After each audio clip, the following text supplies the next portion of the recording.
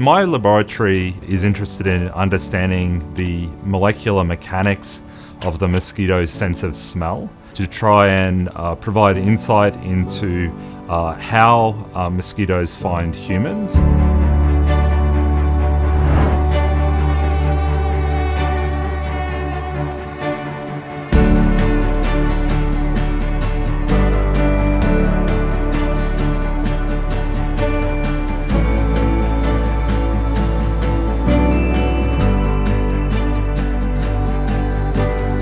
We were really excited to create uh, a system to characterize the chemical uh, correlates of mosquito attractiveness to humans. We did so by developing a multi-choice assay for mosquitoes. By building a very, very large field cage in Africa, a screen cage, at our site in southern Zambia at Macha Research Trust.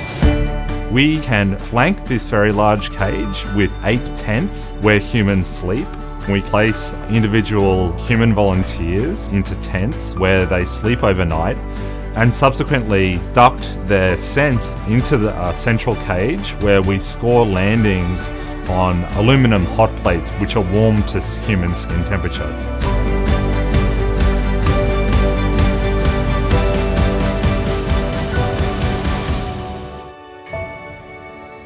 By using eight of these different setups in competition with each other, we can measure and identify humans that are particularly attractive to mosquitoes and understand what is it about their scent sample that is mediating that attractiveness.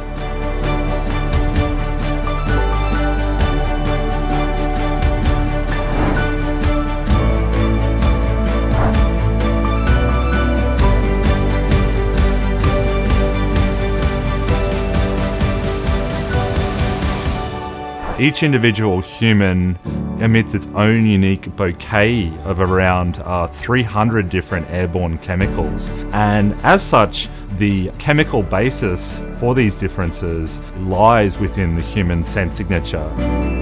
When we're able to identify chemicals that mediate attractiveness to humans, we hope to employ and, and, leverage that information to create highly attractive blends or fragrances that mimic the human scent signature to develop a new generation of highly attractive lures for mosquitoes that we can use to improve uh, both uh, mosquito control and also uh, mosquito surveillance.